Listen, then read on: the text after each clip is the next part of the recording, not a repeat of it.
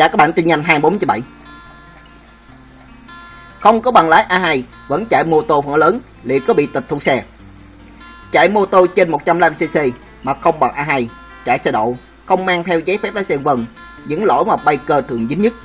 Cùng với chúng tôi, thống kê những mức phạt nếu bạn vi phạm những lỗi trên. Không bằng A2 phạt bao nhiêu tiền?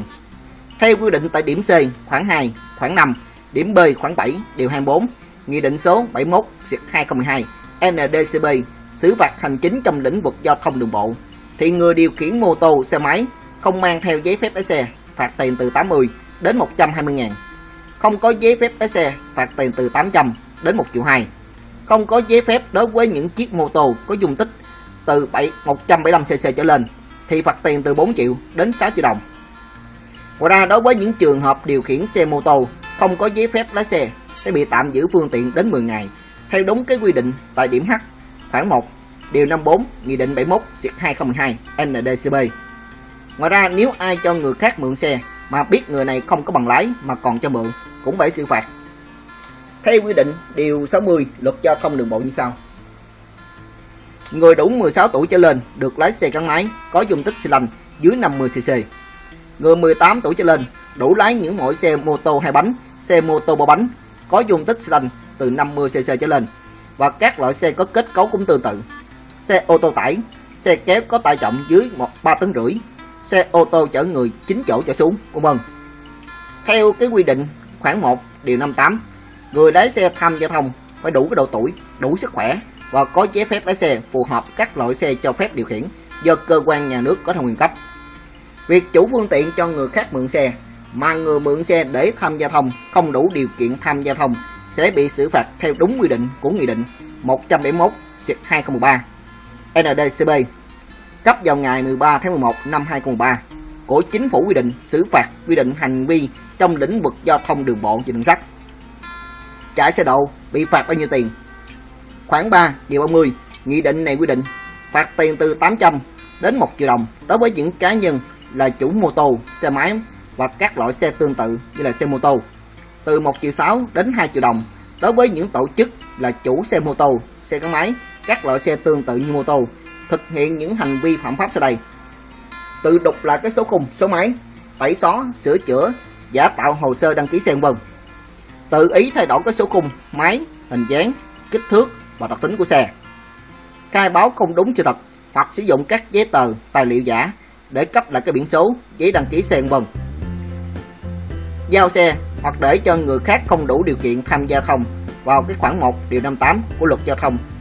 Cái điều khiển xe tham gia giao thông vân. Như vậy, những biker không có bằng hai điều khiển những chiếc xe mô tô phân lớn có thể mất tối đa từ 6 triệu. Nếu những chiếc xe được độ số sàn, số khung, số máy hay dùng các giấy tờ không hợp lệ, giấy mẹ bụng con vân. Người lái xe có bị phạt thêm 2 triệu đồng và tổng số phạt ờ, tổng số tiền phạt mắc hai lỗi trên lên tới là 8 triệu đồng. Dù thị trường xe phân khối lớn ở Việt Nam ngày càng xuất hiện đủ các hãng xe danh tiếng như Ducati, BMW, Kawasaki, KTM vân, nhưng giá là rào cản rất lớn đối với những biker vì giá luôn đắt hơn giá trị thực tế từ 1 đến 2 lần.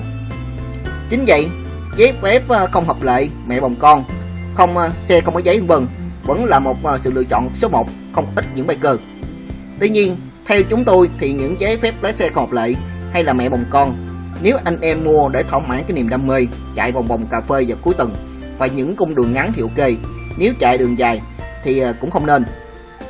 Còn đối với bằng A2 hiện tại cái chi phí học và thi bằng lái A2 chỉ dao động ở trong khoảng từ 1,5 cho đến 2,5 triệu đồng. Không bằng A2 1 phần 2 mức phạt dành cho việc điều khiển xe trên 115cc là không có bằng A2 do đó anh em biker nên chủ động dành cái thời gian để thi đế bằng A2 công an nổ súng khống chế đối tượng cầm dao chống đối giữa Sài Gòn. Vào ngày 30 tháng 8, công an phường Tân Định, quận Nhất, thành phố Hồ Chí Minh đang tạm giữ nghi can Nguyễn Hoàng Dũng, thường gọi là Lắc, 42 tuổi, ngụ quận Nhất để xác minh hành vi nghi vấn liên quan đến vụ trộm cắp tài sản trên địa bàn. Thông tin ban đầu vào ngày 28 8, anh Trần Ngọc Thành, 20 tuổi, đến công an phường Tân Định để trình báo mất một chiếc xe máy bị kiểm soát 6079 545 50 tại nhà có địa chỉ 15 1 Bà Lê Trân, phường Tân Định, quận Nhất. Tiếp nhận vụ việc, công an vào cuộc điều tra và xác định Dũng là nghi can có liên quan đến vụ trộm xe máy của anh Thành nên đã tiến hành mời về trụ sở làm việc. Tuy nhiên, nghi can Dũng không có mặt tại hiện trường nên không thể liên lạc được. Vào khoảng 16 giờ 10 ngày 30 tháng 8, công an phát hiện nghi can Dũng ở con hẻm 28 đường Mã Lộ, phường Tân Định nên đã tiến hành mời về làm việc. Tuy nhiên, nghi can này không chấp hành mà còn lấy cái dao và kéo của một người dân chống đối lại công an. Một lúc sau, nghi can Dũng bỏ chạy về đường Hai Bà Trưng nên công an tiến hành truy đuổi theo. Trong quá trình bỏ chạy, tên Dũng còn lớn tiếng đe dọa tấn công lại công an. Trước sự manh động, công an tiến hành nổ hai phát súng để chấn áp tinh thần. Trung tá Hải là trưởng công an phường Tân Định đã tiến hành thuyết phục vận động Dũng hạ vũ khí về trụ sở làm việc. Tại công an, qua kiểm tra nghi can Dũng đã dương tính với ma túy. Hiện công an đang tiến hành điều tra làm rõ sự việc. Đi thu rác ở chung cư, nữ công nhân phát hiện một thi thể nam trong bao tải. Đến khoảng 13 giờ ngày 30 tháng 8, công an phường Bình Tân phối hợp với các đơn vị nghiệp vụ công an Hồ Chí Minh đang phong tỏa hiện trường, khám nghiệm tử thi, lấy lời khai các nhân chứng, điều tra một người dân phát hiện thi thể một nam thanh niên bỏ trong bao tải tại chung cư ở khu vực. Thông tin ban đầu vào khoảng 9 giờ 15 cùng ngày, nữ công nhân đi dọn ghét ở phía dưới chung cư Lê Thành, đường Mã Lò, phường Bình Trị Đông A, quận Bình Tân thì phát hiện một bao tải nên tiến lại gần kiểm tra. Nữ công nhân đang mở bao tải hốt hoảng, phát hiện một thi thể nam giới trong bao tải, hoảng sợ bỏ chạy và hô hoáng cho người dân địa phương. Nhận được tin báo, công an quận Bình Tân phối hợp các đơn vị nghiệp vụ công an Hồ Chí Minh đã có mặt phong tỏa hiện trường, khám nghiệm tử thi, lấy lời khai các nhân chứng và điều tra nguyên nhân sự việc vừa buôn lậu thuốc ở VN Pharma, em chồng có được coi là người thân không? Quý vị và các bạn thân mến, nguyên phó chủ nhiệm văn phòng Quốc hội, đại biểu Quốc hội và luật sư đã có những trao đổi giải thích xung quanh việc em chồng Bộ trưởng Nguyễn Thị Kim Tiến làm ở công ty VN Pharma. Chiều 30 tháng 8, tại cuộc họp báo chính phủ thường kỳ, trả lời câu hỏi về việc em chồng Bộ trưởng Nguyễn Thị Kim Tiến làm ở công ty VN Pharma, Thứ trưởng Bộ Y tế Nguyễn Viết Tiến nêu rõ rằng Bộ trưởng không nói chứ không phải là nói không có, không nói khác với không có. Theo quy định, làm ở vị trí này thì không được vợ chồng, con hoặc bố mẹ, chứ không nói đến anh hoặc em chồng. Một vấn đề được dư luận đặt ra đó là nếu đúng em chồng Bộ trưởng Nguyễn Thị Kim Tiến tham gia làm ở công ty VN Pharma thì người em chồng này có được coi là người thân hay không?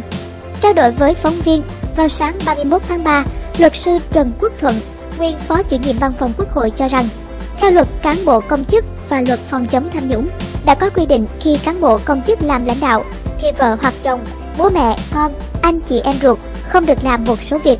Cụ thể như không được để vợ hoặc chồng, bố mẹ, con kinh doanh trong phạm vi do mình quản lý trực tiếp hay cho phép doanh nghiệp thuộc sở hữu của vợ hoặc chồng, bố mẹ, con, anh chị em ruột tham dự các gói thầu của doanh nghiệp mình. Ông Thuận nêu rõ rằng, căn cứ vào luật hiện hành thì chỉ có quy định về vợ hoặc chồng, bố mẹ, con, anh chị em ruột, còn không có quy định đối với trường hợp là em chồng thì không được làm một số việc. Đối với trường hợp công ty VN Pharma có em chồng của Bộ trưởng Nguyễn Thị Kim Tiến làm việc thì không được coi là người thân của lãnh đạo.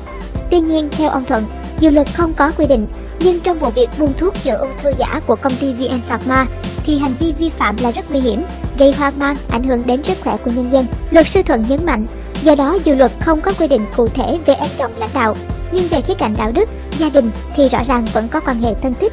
Thực tế trong thời gian qua, công ty này đã trúng nhiều gói thầu và việc được Cục Quản lý Dược cấp phép nhập khẩu một số loại thuốc cũng có vấn đề. Do đó, từ việc em chồng của Bộ trưởng Tiến làm ở đây đã đặt ra nhiều câu hỏi đối với dư luận. Vì thế, việc chính phủ, thủ tướng yêu cầu thanh tra chính phủ vào cuộc làm rõ các vấn đề có liên quan là rất đúng đắn. Cơ quan chức năng cần phải xác minh xem có hay không vấn đề tiêu cực, thân quen để trục lợi, buông lỏng quản lý, lợi dụng chức vụ quyền hạn để trục lợi. Nếu có sai phạm cần xử lý nghiêm kể cả xử lý hình sự. Đại biểu Lưu Bình Dưỡng, Ủy viên thường trực Ủy ban về các vấn đề xã hội của Quốc hội cũng cho rằng, theo quy định của pháp luật hiện hành thì em chồng không phải là người thân thích. Ông Dưỡng nói, nhưng nói chung là người nhà, mà như vậy là có thể có vấn đề quan hệ gia đình gần gũi. Tuy nhiên trong vấn đề này, mọi thứ mới là suy đoán, còn khi có dư luận thì tất cả cần phải được các cơ quan chức năng kiểm tra làm rõ, nếu có vi phạm phải xử lý. Luật sư Phạm Công Úc, đoàn luật sư Thành phố Hồ Chí Minh cũng nhìn nhận mối quan hệ chị dâu em chồng trong quy định của pháp luật hiện hành đối với cán bộ công chức làm lãnh đạo còn chưa rõ ràng như mối quan hệ tứ thân phụ mẫu. Tuy nhiên trong phạm trù đạo đức gia đình thì việc này rất rõ ràng có quan hệ thân thích. Luật sư Úc đề nghị VN Pharma là doanh nghiệp tư nhân kinh doanh dược và thuộc quản lý của Cục Quản lý Dược, trong khi đó Bộ Y tế là quản lý chung. Nếu là một công ty bình thường thì không ai để ý tới, nhưng ở đây công ty này lại có nhiều vấn đề, được thắng thầu cung cấp nhiều lô thuốc cho các tỉnh thành bệnh viện, buôn thuốc chữa ung thư giả. Do vậy, các cơ quan chức năng cần vào cuộc kiểm tra, làm rõ mối quan hệ giữa em chồng với Bộ trưởng Tiến trong trường hợp này. Nếu có hành vi lợi dụng chức vụ quyền hạn của người khác để trục lợi, thì không riêng người ruột tịch mà người ngoài không có quan hệ huyết thống đều phải chịu trách nhiệm hình sự. Còn nếu không vi phạm, thì cũng để trả lời rõ cho dư luận.